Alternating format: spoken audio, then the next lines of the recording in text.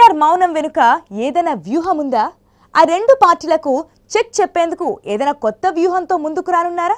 ఈసారి ఆయన వ్యూహం ఏమిటన్న ఆసక్తికర చర్చ సర్వత్రా వినిపిస్తోంది.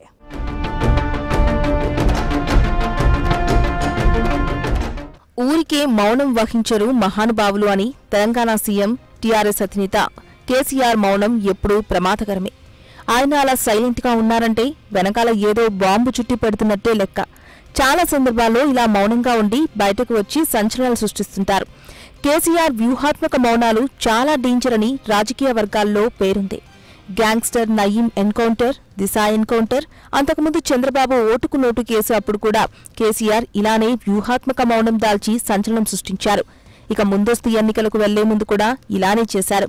సడన్గా రాజీనామాలు చేసి ఆమోదించుకొని ఎన్నికలకు వెళ్ళారు. ప్రతిపక్షాలకు కనీసం సర్దుకునే ఛాన్స్ ఇవ్వకుండానే గెలిచేశారు. ఇప్పుడు కూడా కేసీఆర్ గత కొద్ది రోజులుగా బయటకు రావడం లేదు.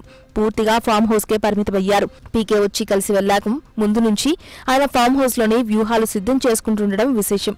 మధ్యలో ఓసారి ఢిల్లీ టూర్ ఖరారు చేసుకున్నారు. రెండు వారాలు ఉంటారని అంతా సిద్ధమయ్యాక టూర్ క్యాన్సిల్ చేశారు.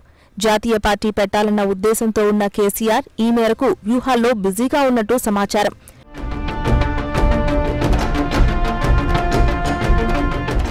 రాష్ట్రపతి ఎన్నికల విషయంలో ఎలాంటి స్టాండ్ తీసుకోవాలన్న విషయంలో కూడా సంప్రదింపులు జరుపుతున్నట్టుగా తెలుస్తోంది. ఎందుకంటే ఈసారి రాష్ట్రపతి ఎన్నికకు బీజేపీకి తగినంత మెజార్టీ లేదు. టీఆర్ఎస్ వైసీపీ సహా ప్రాంతీయ పార్టీలన్నీ కీలకమవుతాయి. ఇదే సమయంలో బీజేపీ వ్యతిరేక కూటమిని బలపరిస్తే కాంగ్రెస్కు పరోక్షంగా మద్దతు తెలిపినట్టే. అది రాష్ట్రంలో టీఆర్ఎస్కు భారీ నష్టం. ఇక బీజేపీ ప్రకటించే అభ్యర్థికి మద్దతు తెలిపితే ఇంతకాలం ఆ పార్టీపై కొట్లాడిన కేసీఆర్ శ్రమంతా వృధా అవుతుంది. అందుకే కేసీఆర్ తాజాగా ప్రాంతీయ పార్టీల తరపున ఓ అభ్యర్థిని ప్రకటించేందుకు ముమ్మర ప్రయత్నాలు చేస్తున్నట్టు సమాచారం. ఈ క్రమంలో ఎత్తులకు పై ఎత్తులు వేస్తూ అన్ని రాష్ట్రాల ప్రాంతీయ పార్టీల అధిపతులతో మంతనాలు జరుపుతున్నట్టు తెలుస్తోంది.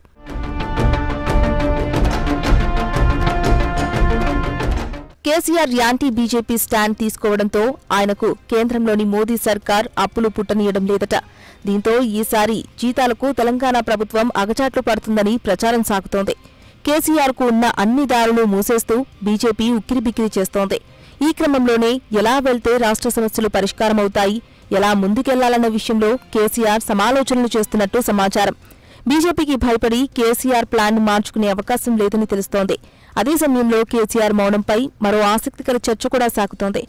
రాజకీయాల్లో సందర్భం వచ్చినప్పుడు స్పందించకపోతే ప్రజల్లో అనేక సందేహాలు కలిగించడమే కాకుండా కనుమరుగయ్యే ప్రమాదం కూడా పొంచి ఉంటుంది.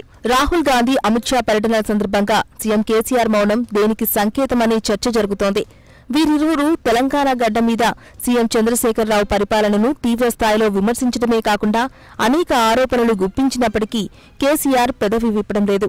మంత్రులు హరీష్ రావు కల్వకుంట్ల తారక రామారావుతో కౌంటర్ ఇప్పించే ప్రయత్నం చేసినా సీఎం స్థాయిలో ఉండదనే చర్చ జరుగుతోంది.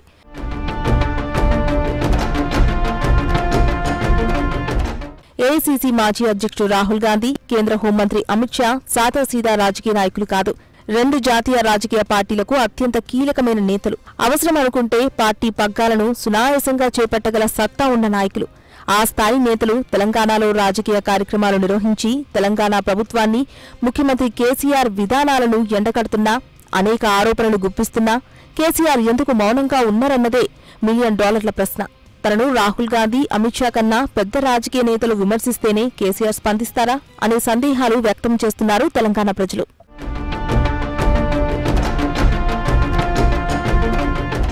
కేసీఆర్ మౌనం వెనుక రహస్యమేంటి? అంతు చిక్కని వ్యవహారమంటున్న గులాబీ నేతలు రాహుల్ గాంధీ పర్యటనపై అమిత్ షా పర్యటన సందర్భంగా కేటీఆర్ కవితతో పాటు ఒకరిద్దరు ప్రతిస్పందించినా పెద్దగా ప్రయోజనం ఉండదనే చర్చ జరుగుతోంది. వరంగల్ బహిరంగ సందర్భంగా రాహుల్ గాంధీ సంధించిన ప్రశ్నలకు కేసీఆర్ బదులివ్వకుండా చిన్నా చితక నేతలతో వివరణ ఇప్పించే ప్రయత్నం చేయడం ద్వారా కేసీఆర్లో ఖండించే గుణం ఎదురించే తత్వం సన్నగిల్లిందా అనే సందేహాలు తెలంగాణ ప్రజల్లో నెలకొన్నాయి. తెలంగాణ ప్రభుత్వంపై కేసీఆర్ విధానాలపై అంతగా విరుచుకుపడుతున్నా స్వయంగా తాను స్పందించకుండా చిన్నా చితకా నేతలతో కౌంటర్ ఇప్పించడం ఏంటనే చర్చ కూడా జరుగుతోంది. తెలంగాణ సీఎం కేసీఆర్ మౌనం అన్ని సందర్భాల్లో మంచిది కాదనే అంశం తెరమీదికి వస్తోంది.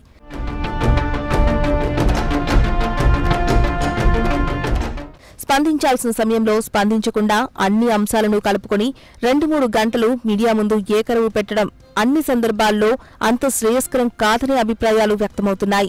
దీనిపై కేటీఆర్ చేసిన వ్యాఖ్యలను తెలంగాణ ప్రజలు అంతగా పట్టించుకోలేదని తెలుస్తోంది. జాతీయ స్థాయి నాయకుల పట్ల చేసే విమర్శలు సిద్ధాంతపరంగా ఉండాలే కాని చౌకబారుగా ఉండకూడదనే అభిప్రాయాలు వ్యక్తమవుతున్నాయి. కేసీఆర్ మౌనం కూడా అంత మంచిది కాదని చర్చ జరుగుతోంది. ఇప్పటికే ముందస్తు టాక్ వెలువెత్తుతున్న వేళ కేసీఆర్ మౌనం ఎందుకన్న చర్చ? ఇప్పుడు హాట్ టాపిక్గా మారింది. దీంతో ఈ నేతలందరికీ కేసీఆర్ ఎప్పుడు కౌంటర్ ఇస్తారనే అంశంపై రాజకీయ వర్గాల్లో ఆసక్తికర చర్చ జరుగుతోంది. ఓ బహిరంగ సభ ద్వారానే సీఎం కేసీఆర్ రాహుల్ గాంధీ అమిత్ షా విమర్శలకు కౌంటర్ ఇస్తారని టీఆర్ఎస్ వర్గాల్లో టాక్ వినిపిస్తోంది. చెన్నూరులో ఆయన నెలాఖరున లేదా జూన్ మొదటి వారంలో భారీ బహిరంగ సభ ఉంటుందని అక్కడే కేసీఆర్ ఈ ఇద్దరు నేతలు రెండు పార్టీలకు కౌంటర్ ఇస్తారని సమాచారం.